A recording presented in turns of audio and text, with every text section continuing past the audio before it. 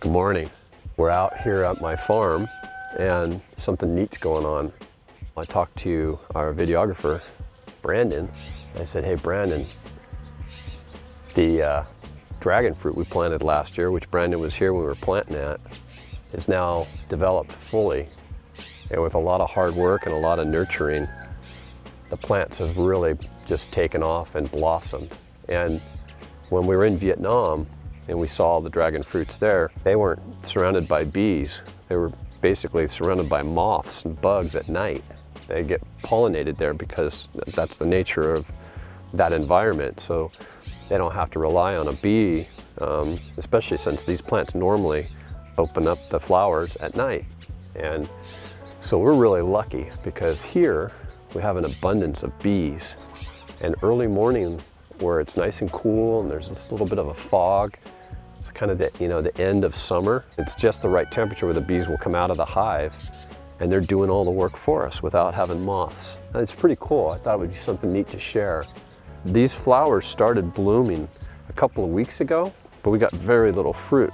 One of my other employees, Rich, we were out here yesterday morning early and we were just standing out here just looking at all the bees. And that's when I said, well, we got to get Brandon out here tomorrow and film this because it's pretty cool. And then I got this waft of air of this incredible fragrance. I thought it was the soap that Rich probably used to take a shower with yesterday morning because I never smelled it before. But when I got up close to the flowers, there it was. And it's very reminiscent of grapes. It's got a lot of these, what I call anthranilates, methyl and linalool anthranilate, and then a little bit of lilac kind of a note to it. So some of the phenyl ethyl alcohol, phenyl ethyl acetate, maybe a little uh, phenylacetic acid. These are the natural chemicals that nature puts inside the flower to attract bees. And it's an incredibly beautiful flower. We're gonna, we're gonna see what we can do to create one from this odor. Probably take some of these flowers and extract them in some alcohol and then run it on the GC and take a look at the, uh, the makeup of the fragrance. But anyway, um, the really cool thing is now after a couple of weeks of blooms, we have fruits.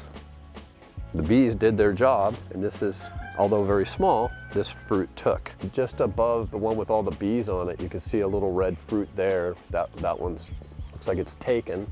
And then beyond that one to the right is a full-grown fruit that's ready for harvesting. We'll sample them. Um, unfortunately, smelly vision doesn't work very well yet, so you won't be able to taste or smell it, but you'll be able to see us. And then we'll do our analysis. And on HPLC, um, we'll see what comes up see what kind of anthocyanins and fun stuff is in there for us. Just another example of a well-formed fruit. So you can see the flowers detached now from the end of the fruit and it's well-formed, a little bigger than the one we looked at earlier. It's well on its way to filling out and becoming a, a target of our taste buds. Down here low to the ground, you see there's some flowers starting to take. And then there's another one or two right here. So we'll see what happens. Um, actually, I just discovered another one that's kind of buried in here. So it is flowering, and we'll just have to wait and see if we're gonna get anything out of it this year. This is a different variety than the ones down there. A little thinner uh, stalk on, on the plant itself, but I've been watching every day, just looking, hoping that we get some more. And then hopefully then another year of growing you know, next year at this time, we'll be taking some really cool pictures because this thing will climb this whole wall. Just think if all these bees weren't here, nothing would get pollinated. They're not normally grown here. It's not a native species. It's one that's been brought in.